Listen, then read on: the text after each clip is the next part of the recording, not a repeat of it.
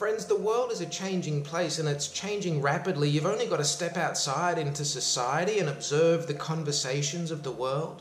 Look at people's dreams. Look at the way that society is moving to know that what I'm telling you is true. We live in a time of accelerated shifting energy. And there is a process of ascension that happens when you begin to awaken spiritually.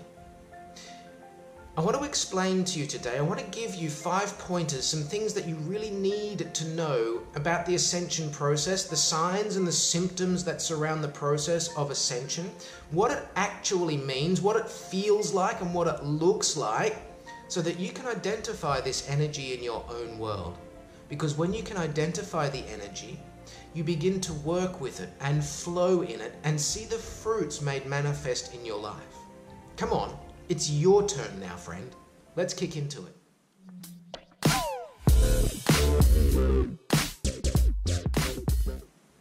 Hello, wonderful you. Welcome to Elevate. I'm Ben, and I sure am thankful for you. Make sure you're subscribed and you're part of our family here. Make sure our energy is connected. You haven't got to watch every video, but I really appreciate you, friend. So thanks for coming over. Thank you for helping me to lift the collective vibe. Today I want to share with you some pointers around the topic of ascension, some signs and some symptoms that exist when you are ascending from the weight of the 3D reality that we all interact with, and you are moving into the beautiful freedom and liberty that exists in 5D. Let's put some framework around what we're talking about first quickly so that we're all on the same page. See, you and I, we live in a world that we interact with through our senses. We live in a world of time and space where we have to move through space to get somewhere, and that takes time. If I want to go to my kitchen and get a drink, I need to move my body through space, which takes time to get that drink. When we're talking about moving into 5D, we're talking about stepping out of the bondage that exists in the world we've constructed between our eyes we are talking about moving away from acknowledging only that which can be sensed through the traditional senses smelling, hearing, tasting, seeing, feeling and into a world where the metaphysical becomes more prominent, where your intuition leads you and speaks to you and guides you just like a navigation. When you move into 5D, you move into a world where you flow with the Spirit. So if it's a world where you flow with the Spirit, then it is a world that is Spirit led. And that's the biggest difference. The world that we live in here on earth is very human led.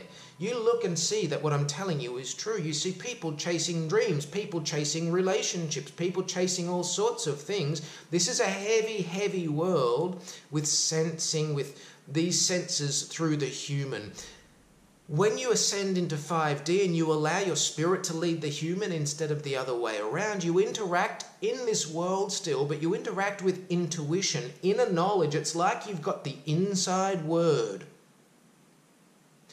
And as you make this shift, there are always things that are exhibited in the world that you live in through your body, through nature, through the things that you see. These are the signs and the symptoms that exist around the process of ascension. And I want to share with you five of the things that you will notice if you are beginning to become more spirit led than human led.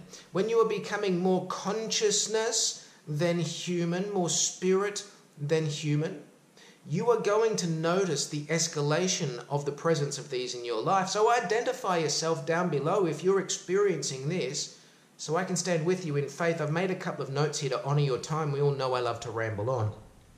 So the first thing is you're often going to feel them in your human. See, your human is it's like your interface between 3D and 5D. Your human is the interface. It's the vehicle that your spirit lives in. So very often when the process of ascension is happening, you feel it in your human because it is the human that is interfacing with the world. You might feel different things in your body.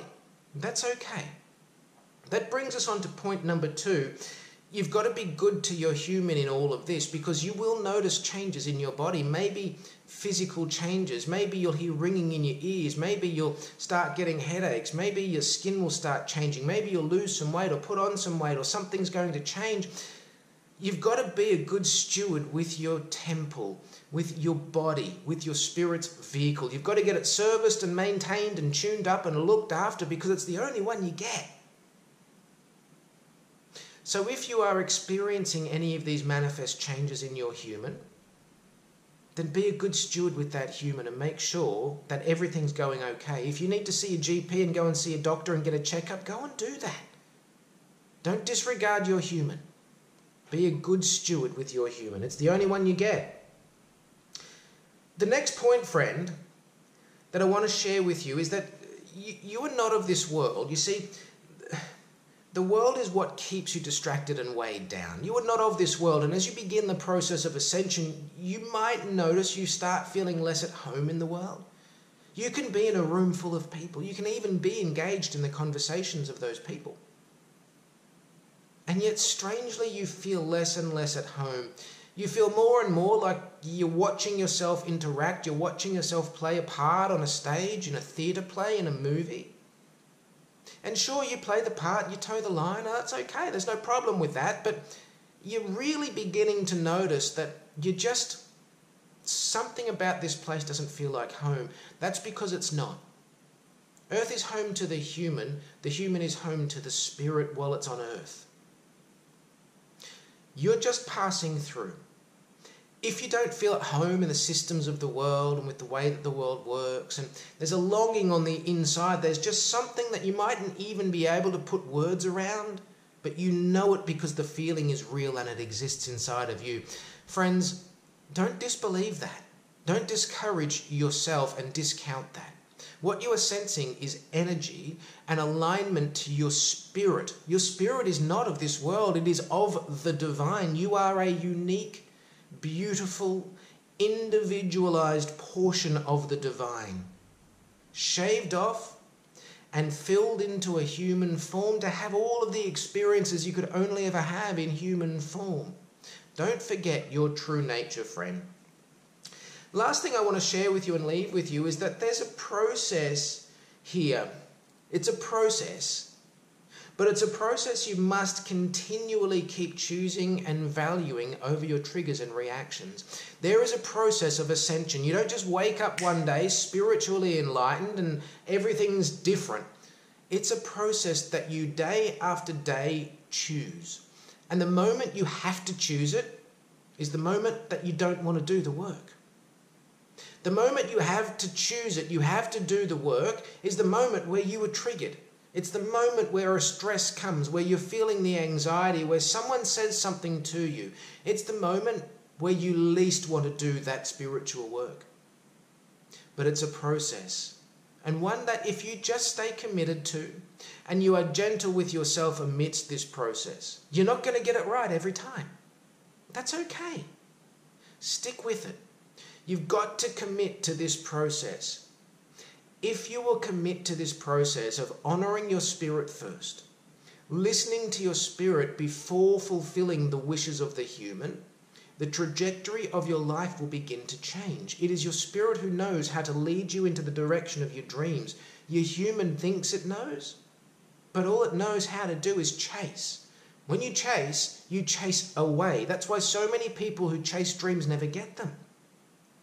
It's time to be still, to be listening to your inner world, to be monitoring your inner conversation, and to be aligned with your dreams means moving from human to spirit.